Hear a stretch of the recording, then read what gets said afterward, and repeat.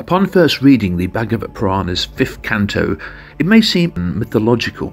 However, Dr. Richard Thompson concluded that it is actually full of profound ancient knowledge. Embedded within the text are a number of models, including a planisphere of the Earth, not a literal flat Earth, but a working model used, for example, in astrolabes. Next, an accurate scale model of the geocentric, Earth centered solar system. Others have concluded it also offers a proportional sun centered view.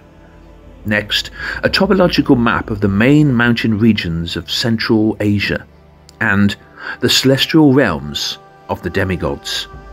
Now, if you combine those models together, it tells us about auspicious and inauspicious realms imperceptible to humans of today. For the qualified, these realms are accessible from the Himalayas and other mountainous regions on Earth.